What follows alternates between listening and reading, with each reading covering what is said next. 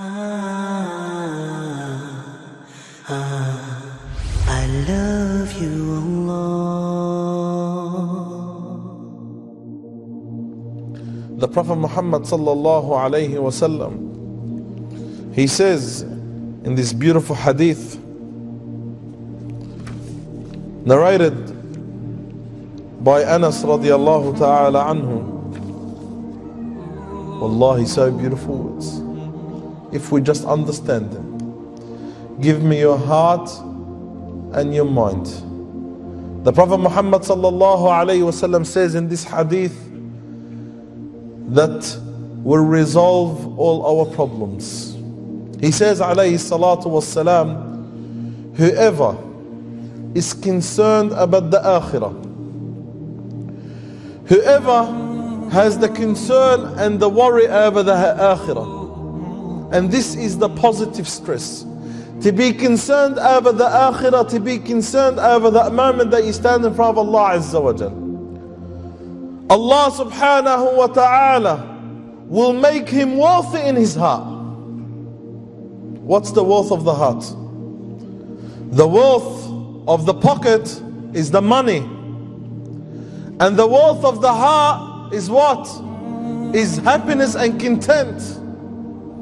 Because all the money of this world would never make your heart rich.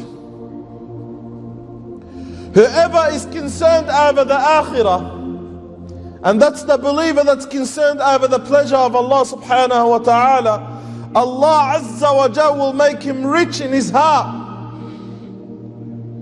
And not only that, and Allah subhanahu wa ta'ala will gather and assemble his matters under him Your financial, your marital, your family, all your matters, your social matter will be all under your control.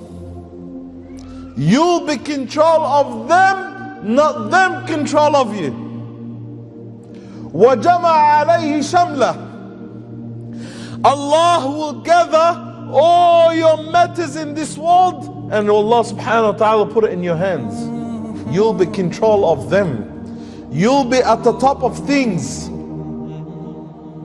And not only that, not only that, and the Prophet ﷺ says, وَأَتَتْهُ الدُّنْيَا وَهِيَ رَاغِمَ Allah. And the dunya, and everything in this dunya will come to him running. If your concern is the akhirah, the dunya will run to you. If you are in this dunya for the dunya to serve you, then Allah subhanahu wa ta'ala will make you the master of the dunya. And Allah Azza wa Jal will make you the servant of the akhirah. Whoever has the concern of the akhirah and the pleasure of Allah, Allah subhanahu wa ta'ala will put richness in his heart. And Allah Azza wa Jal will assemble and gather all his matters under him. And Allah subhanahu wa ta'ala will make the dunya run to him. But on the other hand, whoever has the concern of the dunya, all his concern is the dunya. All his stress is the dunya. All his worry is the dunya. The Prophet Muhammad sallallahu alayhi wasallam says, جعل الله فقره بين عيني Allah Azza wa Jal will make poverty between his eyes, in his heart. Allah will make him always poor even if he's got all the money of this dunya. Don't you see people so wealthy? But subhanAllah, they are slaves 24 hours, working 24 hours. Don't even get the chance to count their money. They are so wealthy and don't even get the chance to see their children. They are so wealthy and don't even get the chance to eat a proper meal. They are so wealthy and don't even get the chance to sit down and rest. They are poor in reality. And they're never happy. They are never happy. They would never ever or don't even get the chance to taste what a poor man tastes is rest and comfort. And they are so rich.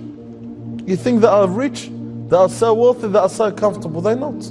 They are rich, yes. They are wealthy, yes. They have a lot of money, but they're not comfortable. They're not relaxed. They're not happy. Why?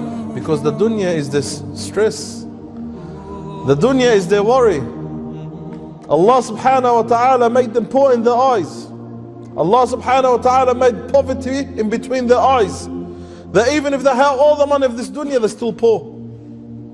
Even if they have all the money, they are still stressed.